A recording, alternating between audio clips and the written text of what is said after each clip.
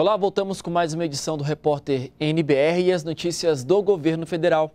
Para aumentar a proteção dos adolescentes contra o HPV e a meningite C, as escolas vão ser incentivadas a vacinar meninos e meninas. Os Ministérios da Saúde e da Educação lançaram uma campanha sobre o tema. O câncer de colo do útero mata mais de 5 mil mulheres por ano no Brasil. A principal causa desse tipo de câncer é o vírus HPV. A vacina contra o vírus está disponível no Sistema Único de Saúde para meninas de 9 a 14 anos. Ainda assim, segundo o Ministério da Saúde, 52% dos municípios brasileiros estão com cobertura vacinal de HPV muito baixa.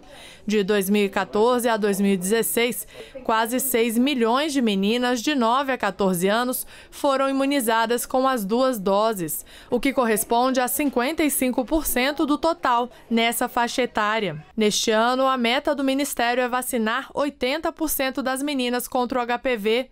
Os meninos de 12 a 14 anos também foram incluídos nessa vacinação em 2017.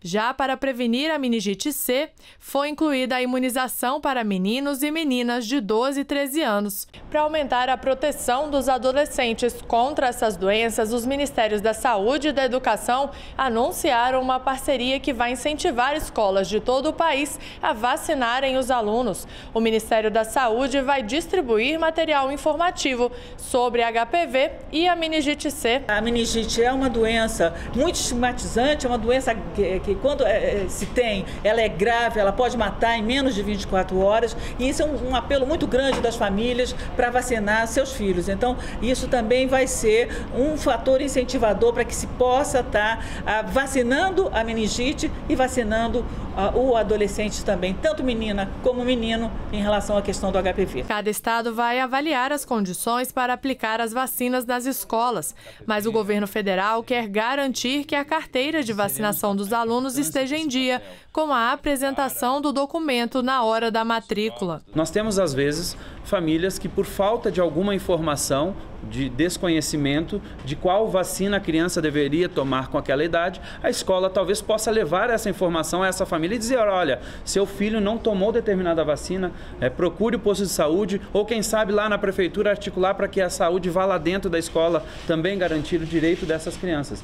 E como forma de chamar a atenção dos jovens sobre a necessidade de tomar as vacinas, também foi lançada uma campanha publicitária focada no universo dos jogos digitais. Ministério da Saúde investe 4 bilhões por ano só no programa de imunização, são 300 milhões de unidades de vacina por ano disponíveis para a população e agora, com o acesso à escola, isso facilitará muito a que essas vacinas de fato promovam a cobertura eh, vacinal da população e a imunização da população para essas doenças que estão no nosso calendário e começou a vacinação contra a febre aftosa no Pará e no Amazonas. A estimativa do Ministério da Agricultura é imunizar 1 milhão e 300 mil bois e búfalos no Amazonas e 20 milhões no Pará neste primeiro semestre. No Amazonas, a vacinação vai até o final de abril e no Pará até 30 de maio.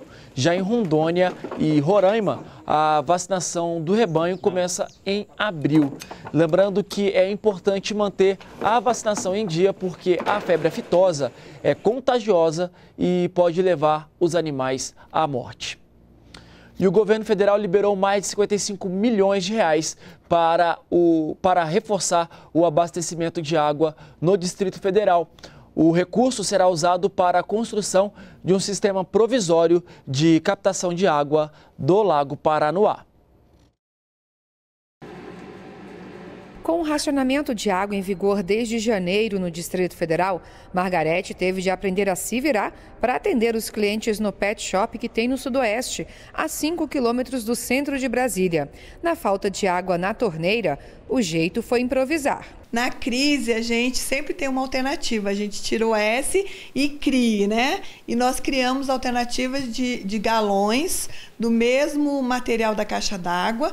Então, nós enchemos esses galões, é, aquecemos e os, os doguinhos daqui, todos eles tomam banho quentinho no dia do racionamento. Há dois anos, o Distrito Federal tem chuvas abaixo da média. Por conta disso, passa pela maior crise hídrica da história. Desde o começo deste ano, a população enfrenta um racionamento de água, mas o nível dos reservatórios continua baixo, principalmente quando se leva em conta a proximidade da seca.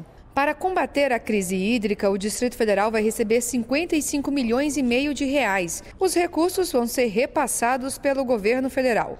Temos variados projetos para distribuição de água que estão com o cronograma em dia, mas o que se busca é melhorar, portanto, a eficiência de todos os investimentos públicos em matéria de água e de saneamento. Companhia de Saneamento Ambiental do Distrito Federal, CAESB, será responsável pela execução da obra que vai captar água do Lago Paranoá. Com o investimento do governo federal, será possível retirar 700 litros de água por segundo e garantir o abastecimento a 1 milhão e 800 mil pessoas que moram nas regiões abastecidas pela barragem do Descoberto.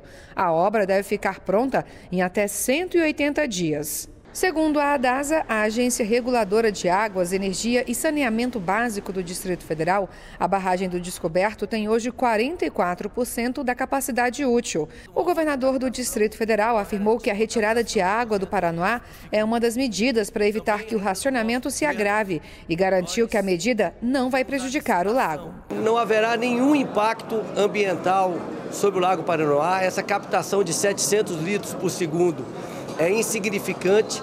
Já existe um outorga né, de 2.800 litros por segundo, portanto, nós estamos, é, estaremos retirando apenas 25% daquilo que é autorizado pela DASA em relação ao Lago Paranoá. Nós vamos agora ao Palácio do Planalto saber as informações desta quinta-feira com o repórter João Pedro Neto, que, tem, que está lá e conversa com a gente ao vivo agora. Oi, JP. Oi, Leandro, olha só. Na tarde de hoje, o presidente Michel Temer e o ministro do Trabalho, Ronaldo Nogueira, anunciam os dados do CAGED, que é o Cadastro Geral de Empregados e Desempregados. Portanto, anunciam os números do desemprego no país referente ao mês de fevereiro de 2017.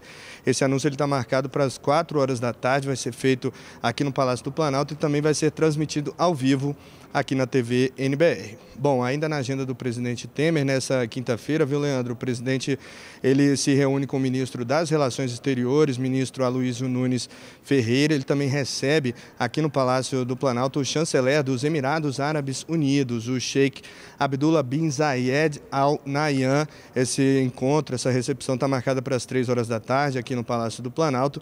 E já no final da tarde, às cinco da tarde, o presidente Temer ele participa da cerimônia de posse dos novos presidente e vice-presidente do Superior Tribunal Militar. Essa cerimônia está marcada para 5 da tarde na sede do STM aqui em Brasília e tomam posse, portanto, respectivamente nos cargos de presidente e vice-presidente do STM, os ministros José Ferreira e o general de Exército Lúcio Mário de Barros Góes.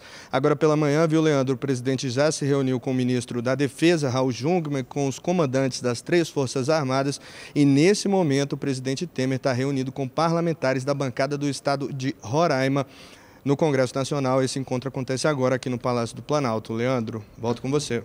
Tá ok, JP. Obrigado pelas suas informações aí do Palácio Planalto.